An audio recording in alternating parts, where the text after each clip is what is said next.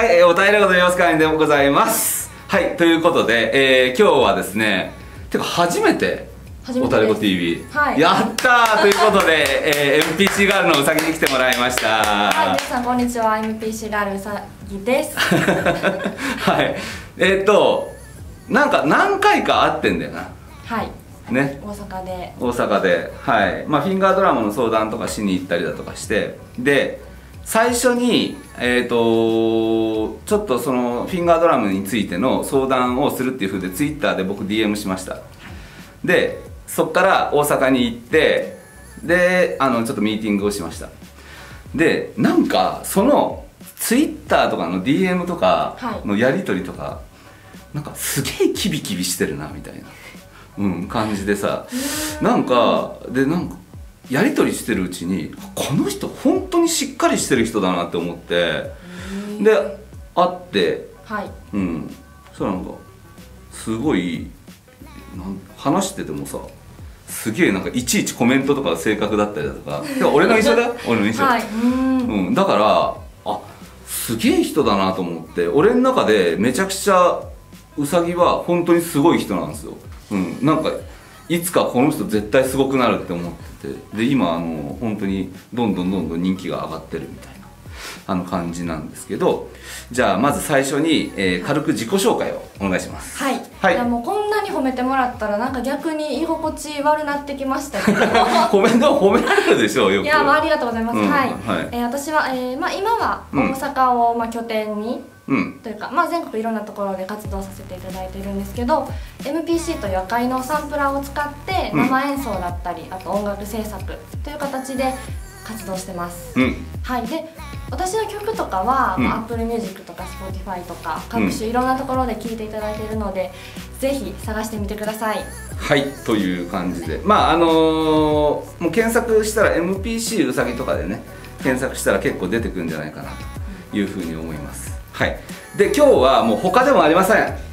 もうこいつです。はい。赤いのですね。MPC キーに61ということでえっ、とこの前ね鈴木さんと、えー、オットーの菊池さんとですね、えー撮ったんですけどあれも結構なんかぼちぼちなんかみんな見てくれてそう本当にはいありがとうございます。でおかげさまでですねもう在庫はないです。もうめちゃくちゃ売れてますはい。すごいですね。はい。もううさぎもね多分ねあのー、ツイッターとかでもはい。ちょっとやっあ載せました。あやっぱりもうななんかもうみんなわーってやっててもうおかげさまでもうめちゃめちゃ売り切れになってます。はい。いう感じでおなんでもう宣伝する必要もないのかもしれないけど まあでもせっかくうさぎも今ガンガン使ってもらってますしあのーおたれこ TV も出出たことがなかったので、あのーぜひうさぎ出演お願いしますと言ったらあの、まあ、出てやってもいいいいよと。まあしゃあないけど出たのかって まあみたいな感じで まあみたいな感じじゃないんだけどあのぜひということだったんで、えー撮ろうということです。でまあこの前の動画をもう実はやってるんですよ。あのーあおたえレコード TV で。拝見してます。あみ見てますか、はい。では本当にあの鈴木さんも交えてファーストインプレッションという感じだったんですけど実際にうさぎはこの MPC キー61をどれぐらいの期間使いましたか？2週間とか1ヶ月ぐらい。そうですねもうえっ、と今日23週間はもう2 3週間ぐらい。はい、持ってます。っていう感じでございますので、えー実際にちょっと、あのー使い込んでみて、まあ、しかももうフィンガードラマのプロでと言っていいと思いますが、はい。えープロの感想はい。プロならではの感想、みたいな評価をねこれも忖度なしで。あわかりました。だからもうこれコメントによってはもう二度とこのあのインミュージックこれなくなるかもしれません。け どありえますねもうそれも大丈夫です。確大丈夫です。怖はい、はい、あのもうユーザーさんのためにですね、うですね。正直レビューということで、はい。あのーお伺いしたいんだけど、はいわかりました。はい、あのー実際ですね、はい。これ発表をした時にはい。どう思いました？鍵盤がつくっていうさ、なんかうびっくり話みたいな。びっくり話ですね。うん。めっちゃびっくり話ではあったんですけど、この、なんだろうその例えばあのこれの画像とか、うん。ものを目で見るまで、うん。私ここまでの、まあ、サイズ感だったりとか、うん。キーボード感やと思ってなくて、いやわかるわかるわかるわかる。うんうんうんうんうん。MPC に鍵盤ついたってなんかやっぱりもうちょっとこう箱型の感じやなんかなとか、はいはいはいはいそうはいいう想像やったんですけど蓋開けてみたらもうこんな感じになってて、うん。これは MPC なんとも思いました。だよね最初、はい。うんうんわかるわかるわかる、はい。あれ？みたいな。そうそうそうう、ん。なんだけど実際にまあこれはねあの動画でもあの皆さんにお伝えしてますけどもう本当にここのがガチガチンコの MPC になってると。はいにその MPC に61件の鍵盤がついたということでもうすごいモデルになってます。で、はい。実際問題これ音色もめちゃくちゃいいんですよ。今回新しくうん加えられたプラグインも。はい。なのでちょっとねこれ相当やっぱりあのー2022年のですね、えー DTM 界、えーのもう台風の目と言ってもいいんじゃないかと思います、まあとはいえですよ。まあそれは今アウトラインの話なわけであって、はい。実際やったらつなんか使いづらいとかあここ結構いいじゃんとかなんかそういうのもひょっとしたらあるかもしれない。はい。であとこれを見てる人は例えば MPC ライブ2とかさ、MPC1 とかさいろいろあるじゃん。はい。だから鍵盤買おうかな。でも普通の MPC 買おうかな。まあみたいな人も絶対いると思うんですよ。そうですね。はい。まあそういうところも含めてなんかちょっと感想を伺いたいんですけど、はい。その家にはい来ました、はい。でちょっとどどんなんかなって触ってうん。みるみたいな、そうですね、まあ、まず、まあ、一回見た目にはびっくりしましたけど、うん。一旦置いといてあいた置いといたうん。作業しようと思ってこう、うん。開いてみたんですけど、うん。まずこれに入ってる音色がほんまにやばいです。めっちゃいいよね。ちょっとやばすぎて、うんうんうんうんうん。はい。うんうん。やばすぎてえっとどういうところがあいいなって思いましたでしょうか？はい。これはなんかうん。今までの MPC ってうん。私はピアノの音色とかが、うん。なんかまあそんなに選択肢ないなと内蔵音源に関してはうん。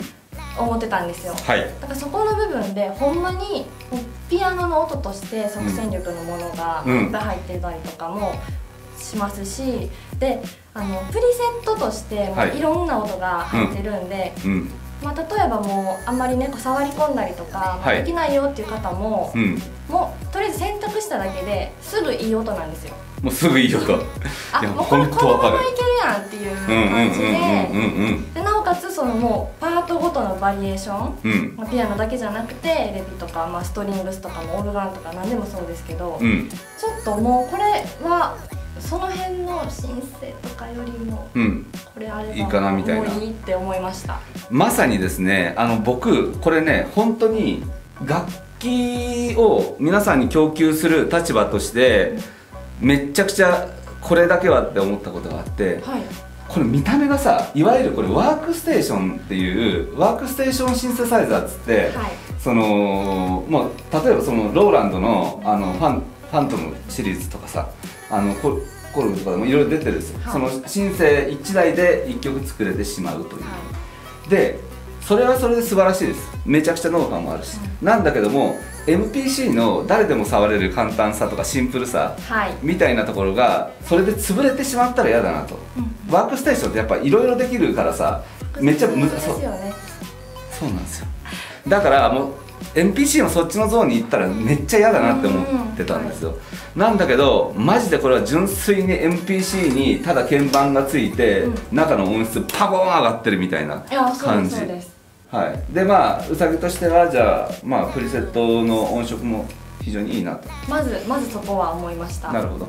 うん。まあでももうぶっちゃけこれ私めっちゃこれ大好きなんですよ。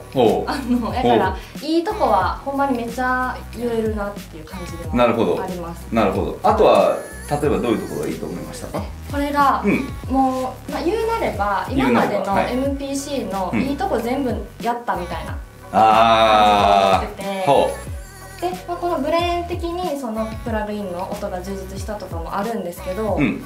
こことかこれ MPC スタジオっていうあのコントローラーについてるタッチなエフェクトなんですけど、うん。これもこれついてるんですよ。ね。だから他のやつでいいやつでもついてないやつあるもんね。そうライブ2とか、うん。あの MP1 にはついてないけど、まあ、うん。これがあるんで、うん。弾きながらここでエフェクトもそうかけれるし、まあ、従来の XY エフェクトも残ってるから、うん。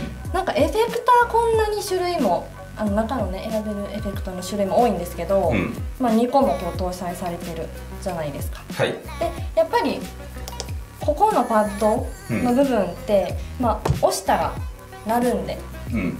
このうん弾きながらうん。ドラムも鳴らせるし、まあ何の音でも自分が入れたものを鳴らせますけど、はい。押したら鳴るっていうこのもうシンプルで楽しい仕組みもそうですね。はい。でこの辺がいろいろもうボタンとしては細かく出てきてくれてるんで、あうんうん。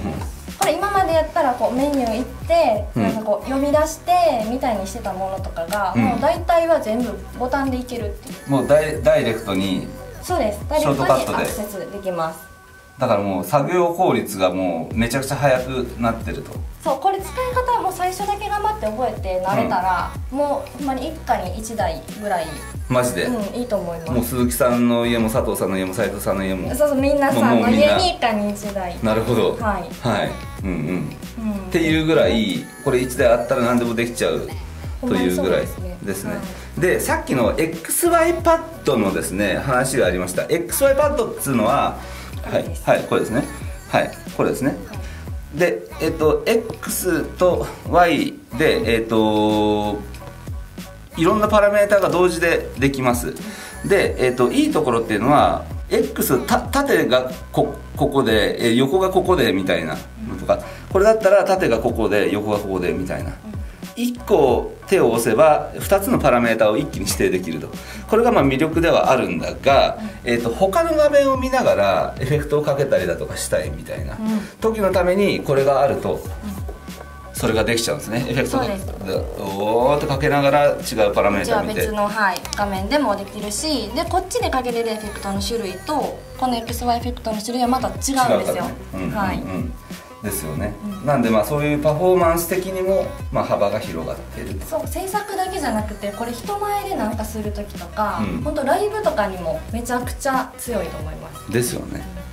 だって言ったらさもうあのーピアノのこの前あのプロのピアニストの菊池沙織先生はい。聞いてみマジでビビってた。あれあの冗談あの作りじゃなくて、はい。マジでビビってたっす。で俺も最近秋葉原にピアノ専門店をオープンして、はい。ピアノの音めっちゃ聞いてるんですけどマジでビビりました、うん。これやばいなって思った。やばいです。うん、20万で MPC 入ってただのおまけかなと思ったピアノの音色。まあまあいい電電子ピアノよりも全然リアルな音したからちょっと怖っと思って。うん。なんかあのそのベーシックなピアノの音ももちろんすごいんですけど、はい。私的にはうんなんかちょっとそのもうちょっと加工されたピアノの音みたいな、はいはいはいはい。でもそんなんもう、えこんなあのおしゃれなんていうか、うん。ほんまに今すぐ使えるっていう感じのプリセットがいっぱい入ってるんですね、ちょっとあのうさぎになんかこれとかは気に入ったみたいな。ああった。このじゃあ AM ってやつとかこれ好きなんですけど。うはいはい。ロードして、はい。でもこれも押してロードして。うんこのジリジリ聞こえます？すごい。なんかレコードノイズみたいな。うん。やばいっすね。でこんなん私あるんやと思って。これ一気に多分あのまあチルっぽいトラックとかローファイっぽいやつとかもうこのまま作りますって感じです。ねえ めっちゃいいじゃん。ちょっとほんまにほんまにめっちゃいいんですよ。はい。だからもうめっちゃあるんですけど。今の AM ってやつもザ AM ザ AM これうさぎ一押しです、うんめっちゃ好きです。あこれもうと最高っすね。そうこのアーバンピアノとかも私はよく使うし、うんうん。ほんでねまだねあるんですけど。ほうほうほうほうほじゃあこれ次のページ行きましょうか。これアンビエントピアノ。ううん。1と2とありますが、1と2とあります、まあ、違いもあるんですけど、うんまあ、ディレイですね。うんディレイだね。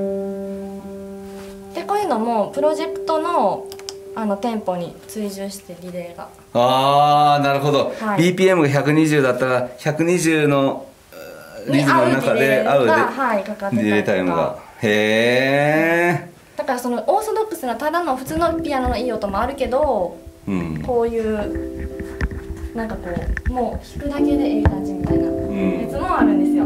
ピアノに関してはちょっと十分すぎるんちゃうかな。いやーたまんないな マジで。思いましたはねいいう感じなのでえっ、とまあ音色がはい、全もうすごい良かった。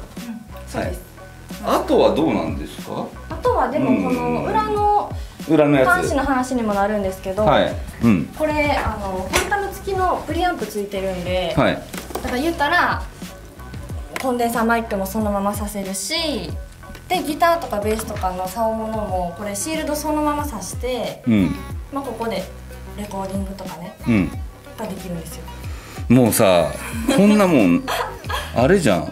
普通にレコーディング機器としても使えるじゃん。いやそうだからあの、例えば今から音楽したいとか思ってて、うん。でも何から買っていいかわからんけどいろいろ集めなあかんみたいな、うんうんうんうん方とかはうんほんまこれ1台とじゃあ例えばマイク買いますとかうん。なんか竿物のね楽器使いますとかでうん。本当なんか打ち込みだけにとどまらへん、うん。音楽制作と間違いない。ができるんですよ。すげえ。私早くあのギタリストとかの友達とこれで遊びたくて間違いないね。セッションみたいなそうめっちゃおもろいだってもうギターでシールドさしてでもあとルンルンルンってやればいいじゃんそう。すげえじゃんでなんかその音楽詳しい人も見てくださってると思うので、まあそうね。うん。そのじゃあギター直接挿したってなった時に、うん。音色だったりとかはい。っていう部分が、うん。あのアンプシミュレーターが入ってますからもうすごい。なんか任せてみたいな感じですよねこれ。任せてみたいな感じじゃない。だからあのギターのエフェクターとかもこの中に入ってるっていうことそういうことでですよねすもうすごすぎて怖いですもん。ため息出ますよね、みたいな。いや本当にそうです、ん。はい。まあまあそんな感じで欠点がなさすぎちゃってですねあの大変なんですけどあのちょっとぐらいネガティブな話話とかないそうですね。あっていうかさはい。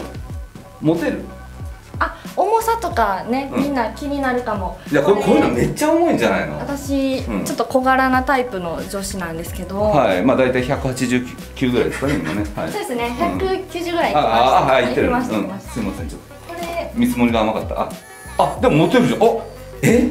あのそんな重ないです。で、ね。多分男性やったら男性やったらそ余裕なんちゃいます？まあ私やったらよっこいしょぐらいはありますけど、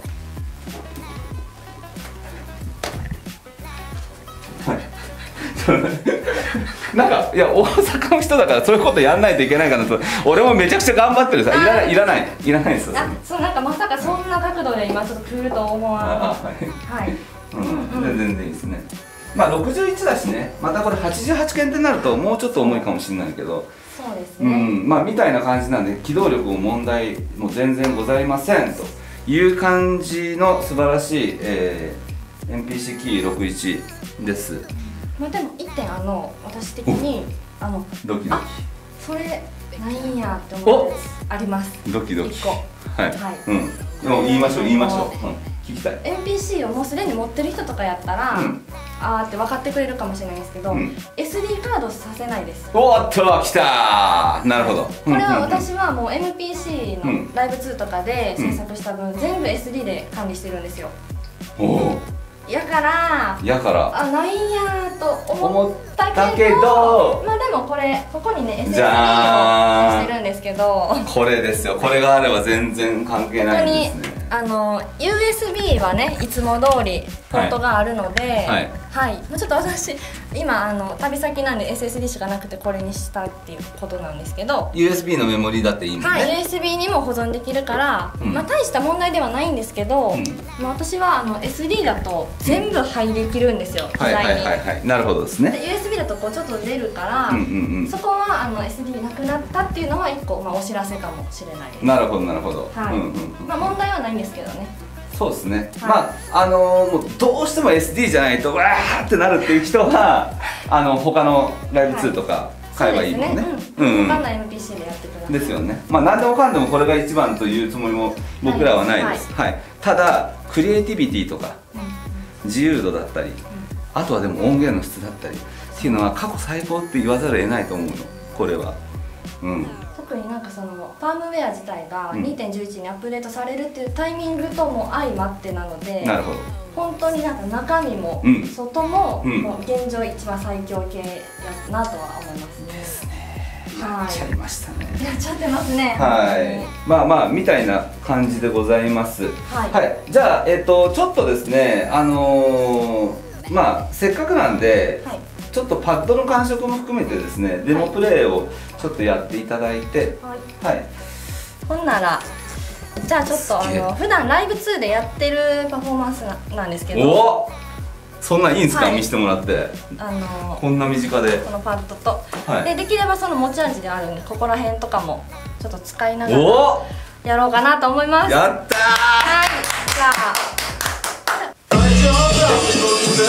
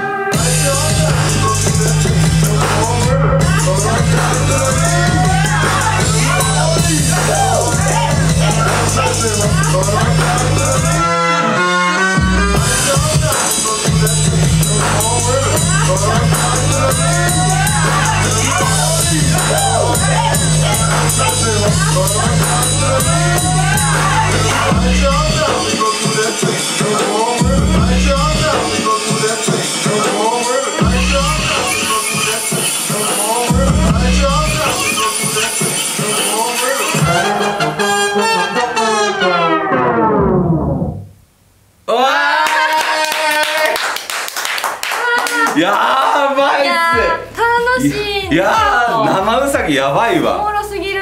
うん。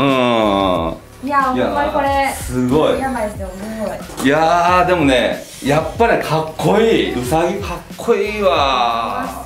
はい。ただあのー、一つちょっとややばいなって思ったのはもう劇中腰だったっていう。これね。この姿勢だとあの腰痛になります？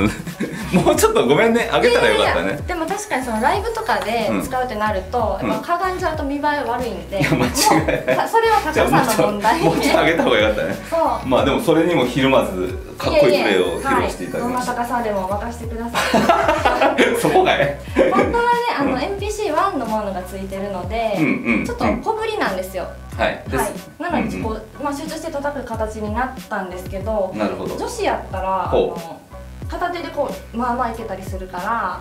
あーそっかそっか。ここの距離が短いんだちょっと。そうです。ライブ2とかやともうちょっとこうそうね。大きくなって届かんとかあるんですけど。なので演奏しながらパッドみたいなこともまあこれだからいいっていうことも結構あるんかなとは。なるほどね。はい。はい。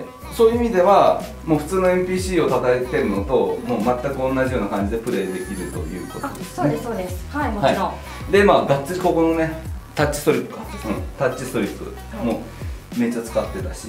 最後来ましたドゥーンで。あーもうはい、テープストップに助けられてはい。やってます。いう感じでございますね。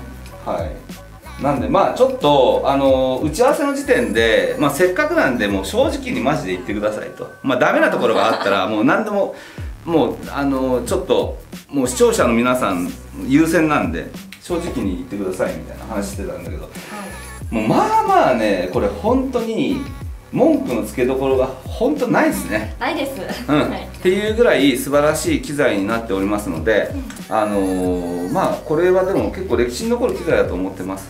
はい。